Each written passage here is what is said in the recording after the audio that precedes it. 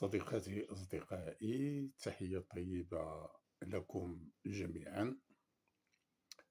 وأنا سعيد جدا بأن ألتقي بكم في هذا الفيديو الجديد.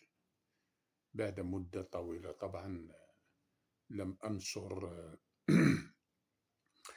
فيديو على منصة يوتيوب لأنه ليس من عادتي يعني أن أدمن على النشر في آه، آه، منصة يوتيوب إلا إذا كان هناك يعني خبر جدير بالمناقشة أو خبر يجب أن أتقاسمه معكم. واليوم 11 آه، أكتوبر 2024 أعود إليكم بالجديد والجديد هذه المرة آه، بالنسبة لي يعني آه، جديد هام جدا. الأمر يتعلق بكتابين جديدين أنجزتهما مع الدخول الثقافي لسنة 2024 الأمر يتعلق بالكتاب الأول اللي هو حوارات مع الكاتب المغربي عبدو حقي حوارات كنعتذر إلى آه الكتاب يعني كيبان آه يعني بشكل معكوس. حوارات مع الكاتب المغربي عبدو حقي هذا الكتاب هو آه، تجميع لتسعة عشر حوارا. آه، أجرتها معي آه، عديد من المنابر الورقية والإلكترونية المغربية و والعربية بما فيها. مثلا جريدة أو صحيفة العرب القطرية القدس العربي الزمان آه، اللندنية وهي صحيفة عراقية. وفي المغرب جريدة المنعطف بيان اليوم موقع اسبريس وهذا الكتاب طبعا بالنسبة لي يعني هو أول إصدار في هذا المجال ديال الحوارات التي اهتمت بتجربتي آه، الأدبية والإعلامية. و يعني المحتوى المهيمن على هذا الإصدار يعني كان هو واحد المجموعة ديال الحوارات اللي تتحدث على تجربتي في الإعلام آه، الثقافي الإلكتروني خصوصا آه، ما تعلق بإدارتي لمجلة اتحاد كتاب الإنترنت آه، المغاربة ثم صدر لي أيضا في هذا اليوم كتاب بعنوان شذرات باللورية. نصوص سردية.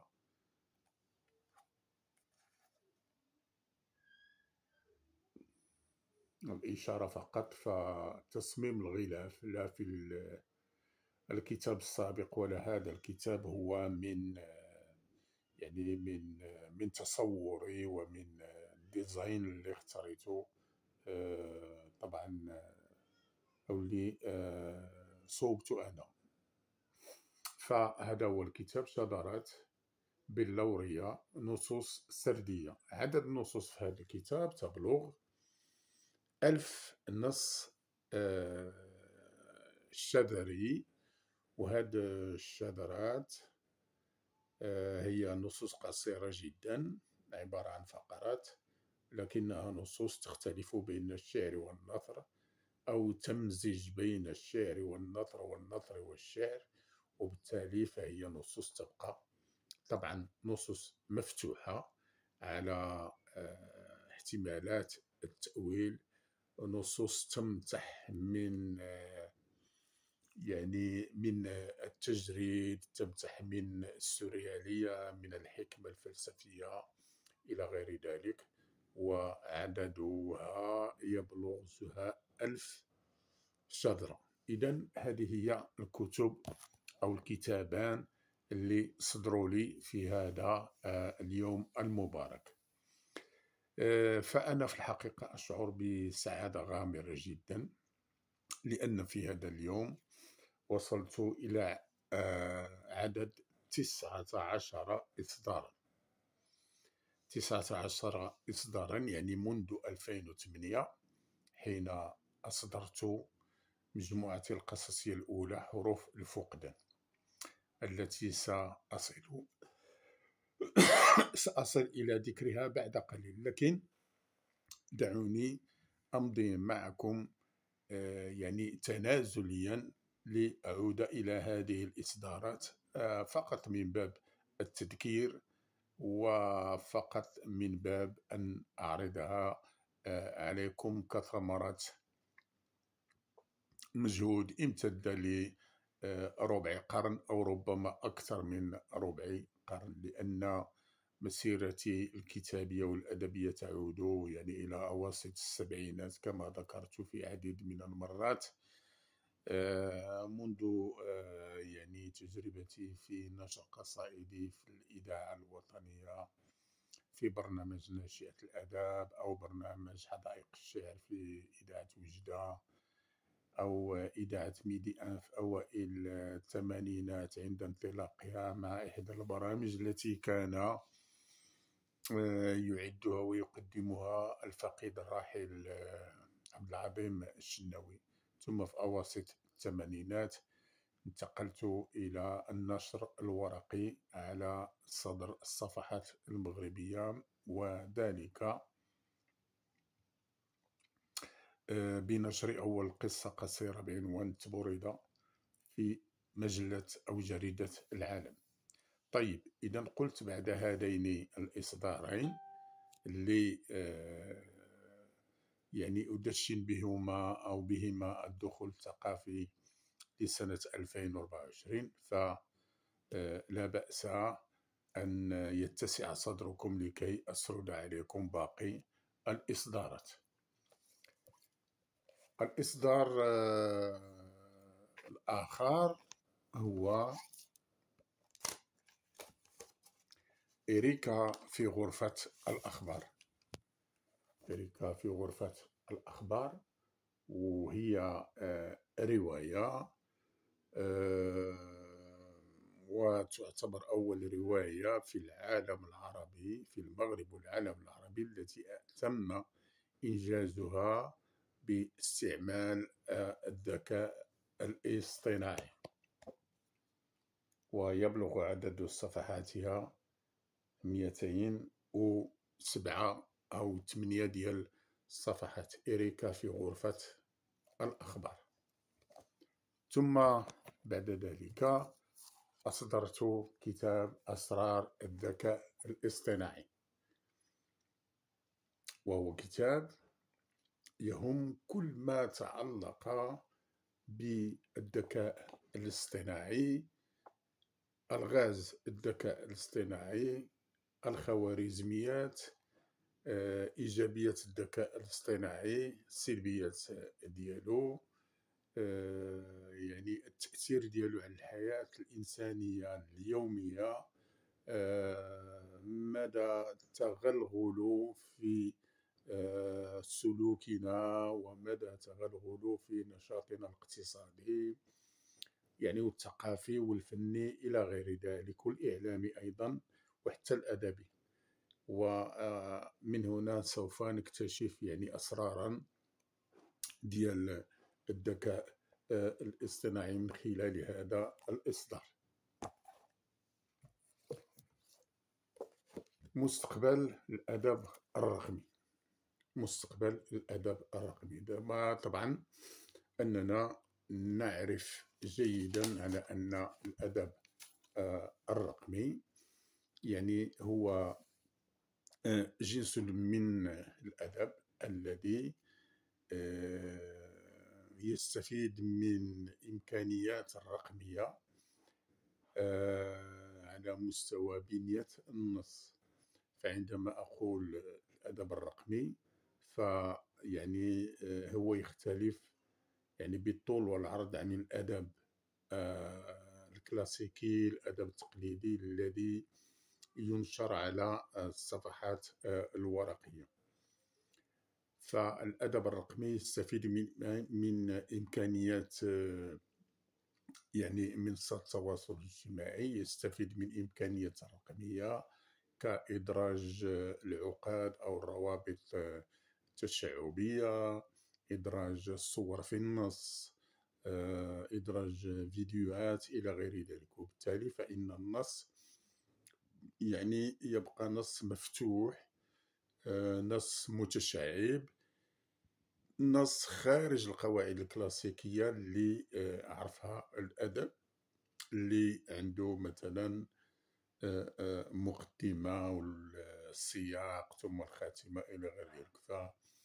ففي الأدب الرقمي يبقى النص أساسا يعتمد بالدرجة الأولى على الروابط العقدية.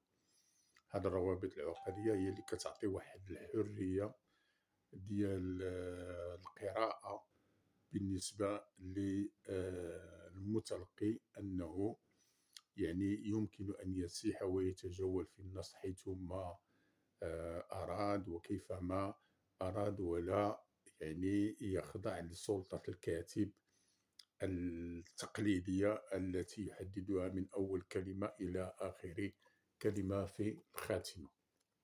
إذا هذا هو الكتاب مستقبل الأدب الرقمي.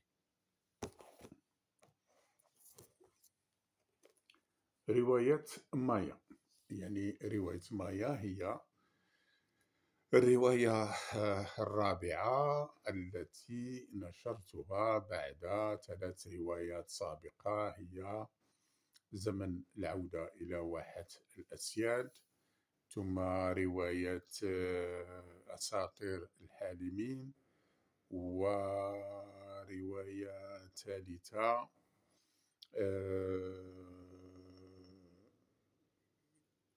رواية ثالثة آسف أنني أنني نسيتها فسأعود إليها بعد قليل طبعا مع هذه المنشورات. إذا هذه رواية مايا. رواية مايا هي إلى حد ما تتقاطع مع السيرة الذاتية ولا يمكن أن أختزلها لكم في بعض الكلمات. على كل حال فأعتز بهذا العمل وأعتقد أنه لو يعني أنصنفنا أو أنصفنا يعني الزمان وأنصفنا الإعلام إلى غير ذلك لكان لهذه الرواية شأن عظيم في المغرب والعالم العربي. تحديات الصحافة العربية في عصر الذكاء الاصطناعي. أيضا هذا من الإنجازات الهامة جدا التي أعتز بها وهو آه، يعني طبعا كتاب صحفي إعلامي يتحدث عن آه، رهانات الصحافة آه، الصحافة بمختلف أسانيدها. يعني الصحافة الورقية أو الصحافة الرقمية أو الصحافة المرئية المسموعة إلى غير ذلك والتحديات اللي تتعيشها في العصر ديال الذكاء الاصطناعي. آه، أعتقد إلى أن هناك تحديات جمة أولا من بينها تغلغل الخوارزميات في الصناعة الصحفية بالتالي أنه ستصبح الخوارزميات هي التي تنجز الأخبار هي التي تعد التقارير آه، هي التي ترتب البيانات إلى غير ذلك. وبالتالي فإن آه، ممكن أن مهنة الصحفي أصبحت مهنة مهددة لأنه آه، هناك ربوطات التي سوف تسحب منه الانبساط وسوف تنزع منه ذلك الكرسي التقليدي الذي كان يجلس فيه أمام الحاسوب وسوف تقوم الروبوتات هي بكل ال ال يعني الأعمال بكل الإنجازات الصحفية كنشر الأخبار إعداد التقارير. طبعا وهذا كله وفقا ل يعني للبيانات البيانات ووفقا أيضا للمعلومات التي يعني تتوفر عليها هذه الخوارزميات والتي تستطيع أن تنظمها على شكل نصوص يعني نصوص إخبارية يستفيد منها المتلقي. آه هذا آه كتاب بعنوان قصص للأطفال والعنوان ديالو هارون والهارون هو حفيد ديالي. آه أهديت له هذا الإصدار بمناسبة عيد ميلاده الثاني. عام كورونا عام كورونا. طبعا العنوان دال ولا يعني لا يحتاج إلى تفسير فهو يتحدث عن تجربتي من خلال جائحة كورونا وفيه عديد من الترجمات التي تشرح العوامل وتشرح يعني التأثير ديال جائحة كورونا على آه، العلاقات الإنسانية على العلاقات بين الدول على الممارسات اليومية كيف أنها غيرت من سلوكنا اليومي في عديد من المجالات وجعلتنا آه، نصاب بعقدة الاحتراس وأيضا آه، جعلتنا في العديد من ممارساتنا يعني نتعامل ب آه، عن بعد. مثلا بعض اللقاءات والندوات التي تمت عن بعد أو بعض الأنشطة مثلا في المجال ديال التعليم أنه أصبحت المنصات الإلكترونية هي التي تحدد العلاقة بين الطلبة وبين التلاميذ وذلك درءا لكل لقاء قد ينتج عنه يعني انتقال الفيروس آه، كوفيد.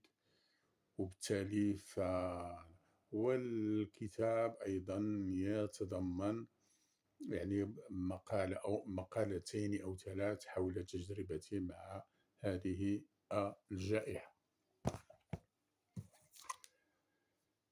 مجموعة قصصية بعنوان متى يأتي الربيع آه هذه المجموعة آه القصصية. طبعا أعتقد هي المجموعة القصصية الثالثة والعنوان ديالها متى يأتي الربيع وقد استوحيت هذا العنوان من قطعة في كتاب القراءة في آه القسم الأول ابتدائي اللي قرينا فيه في أوائل الستينات.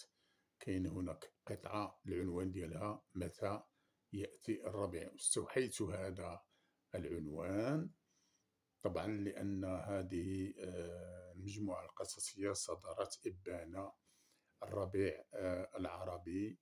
والسؤال أيضا لا يحتاج إلى إجابة لأن كنا ننتظر أن هذا الثورات والاحتجاجات والانتفاضات في العالم العربي تأتي بالربيع لكنها لم تأتي بأي ربيع بل جاءت فقط بالحرائق والقتل والنهب والسلب.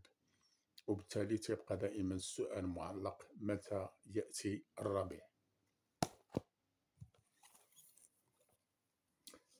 أنطولوجيا القصة القصيرة والشعر أو أنطولوجيا الشعر والقصة القصيرة ما بين ألفين وألفين وعشرة. يعني هذا المؤلف آه، شارك فيه تقريبا سبعين كاتب وهو أول أنطولوجيا تجمع بين جنسين أدبيين اللي هما الشعر والقصة.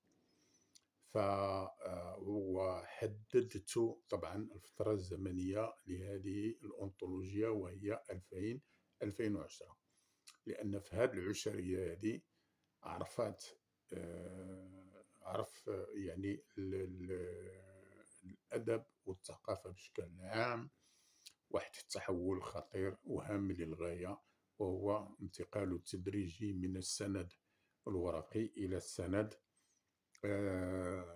يعني الرقمي السند آه، الإلكتروني وأيضا إلى واحد يعني انفجار ديال منصات التواصل الاجتماعي خصوصا فيسبوك ويوتيوب ومدى تأثيرهما على طرائق النشر وعلى التواصل بين الكاتب والمتلقي وعلى تفاعل القراء من خلال تعليقاتهم على آه، يعني النصوص التي تنشر على منصات التواصل آه، الاجتماعي.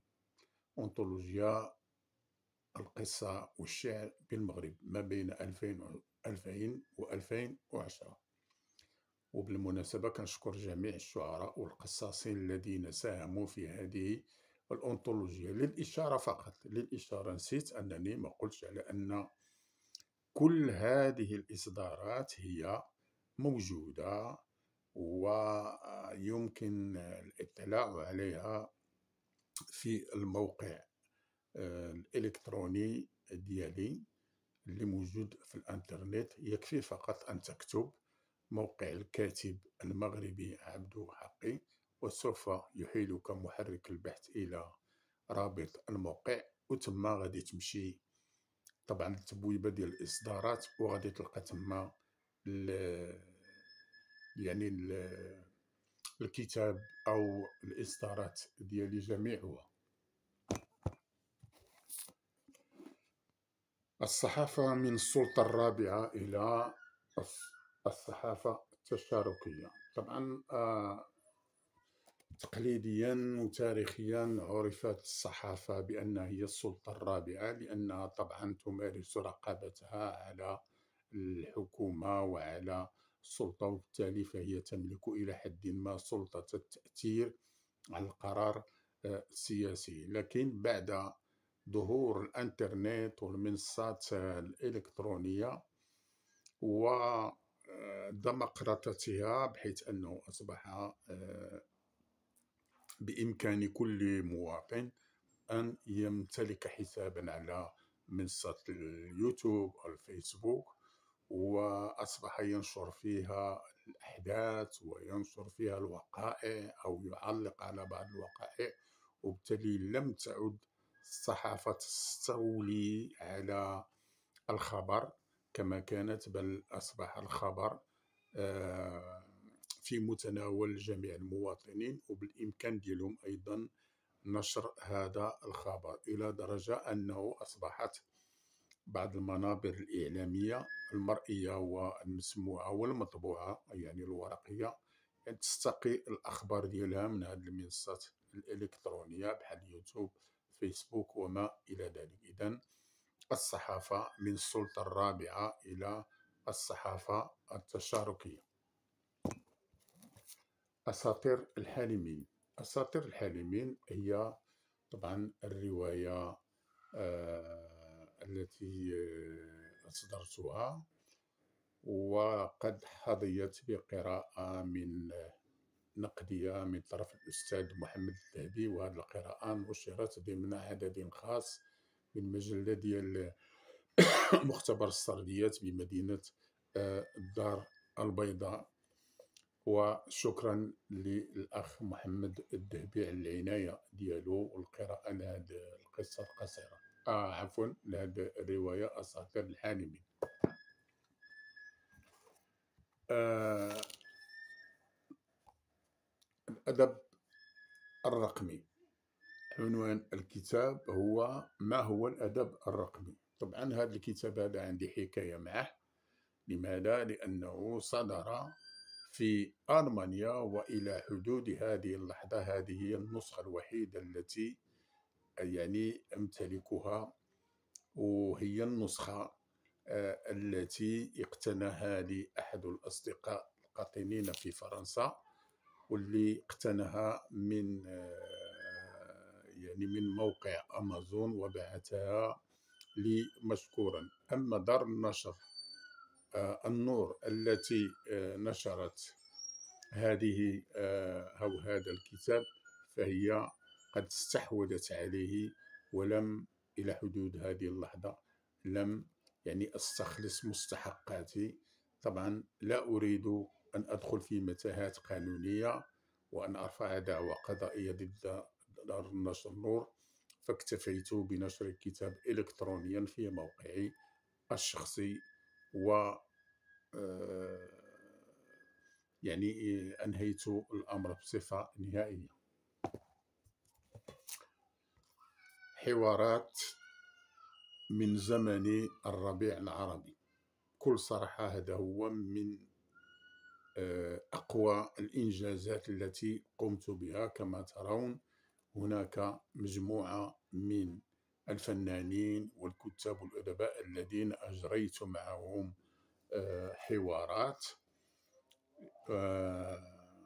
هذه الحوارات طبعا يعني جاءت مع مناسبة ديال الربيع العربي.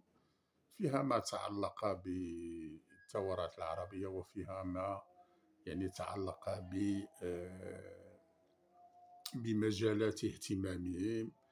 آه، هنايا كنشوفوا مثلا الدكتور محمد العمري الشاعر أمير المريني. آه، القاص الدكتور مصطفى يعلى. الشاعر الرائد محمد السرغيني آه، الصحفي التونسي آه، سعيد الصافي. الملحن آه، الراحل محمد بن الخياط. الجليل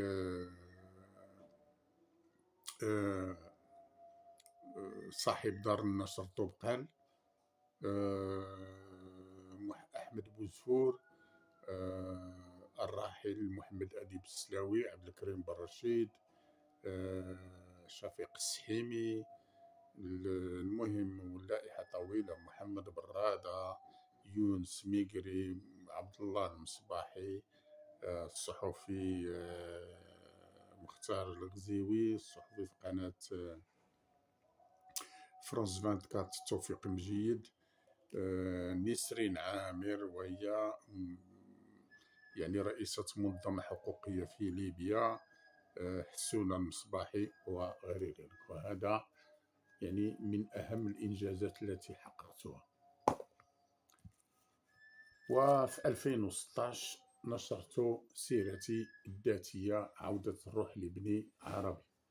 هذه السيرة الذاتية يعني موجودة في ثلاث نسخ ورقية وإلكترونية ومسموعة وكلها موجودة في آه، موقعي الإلكتروني.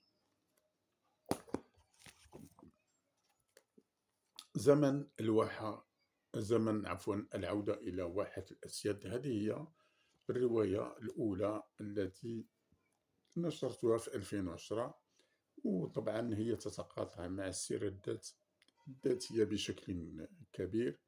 آه، هي أيضا موجودة على آه، الإنترنت. وأخيرا باكورة أعمالي التي نشرتها في 2008 اللي هو حروف الفقدان. وهي مجموعة قصصية نشرتها طبعا وهذه المنشورات كلها على نفقتي نشرتها في 2008 وضمت أولى تجاربي القصصية الجميلة آه، اللي تنشر منها البعض في الجرائد المغربية وبعض على الإنترنت. اذا صديقاتي أصدقائي باختصار هذه هي تجربتي مع النشر. آه، أعتقد أن عدد المنشورات وصل إلى 19 كتابا. ربما فرصة نعود نعدهم. واحد اثنين ثلاثة أربعة خمسة ستة سبعة ثمانية. تسعة عشرة إحدى عشر اثنا عشر ثلاثة عشر أربعة عشر خمسة عشر ستة عشر سبعة عشر ثمانية عشر. تسعة عشر. أه صديقتي أصدقائي الكلمة الأخيرة هو أنه لا يمكن أن أكون قد حققت هذا الإنجاز المتواضع حتى لا أقول العظيم لأن تسعة عشر كتابا هذا ليس بالأمر السهل. ما كنت لأحقق هذا؟ لولا توفر الشروط آه، الضرورية لذلك. أولا آه، الشروط ديال الفضاء والمكان يعني آه، هو أنه إلى حد ما عندي الوقت فين نكتب ونبحث. بالرغم أنه من كنت كنعمل كان هناك بعض الضغط الكبير يعني مع العمل و يعني والانشغالات اليومية وضيق الحيز الزمني. ولكن رغم ذلك بتوفيق من الله يعني استطعت أن يعني أن أستمر في الكتابة إلى حدود 2016 غادي نكون نشرت ثلاث كتب اللي هي آه، حروف الفقدان زمن العودة إلى واحة الأسياد وأخيرا آه، سيرتي الذاتية. وبالتالي فمن 2016 إلى 2024 أكون قد نشرت 16 كتابا. بمعنى أنه هذا يوضح على أنه لما خديت التقاعد ف كان هناك فائض من الأكسجين حتى يمكنني أن أتنفس عميقا وكانت هناك حرية أكبر واستثمار آه، أكبر للوقت لكي آه، يعني آه، أكتب وأنتج كل هذه الإصدارات. صديقاتي أصدقائي حتى لا أطيل عليكم. أتمنى لكم التوفيق والسداد وإلى اللقاء في فيديو قادم وشكرا على الاهتمام.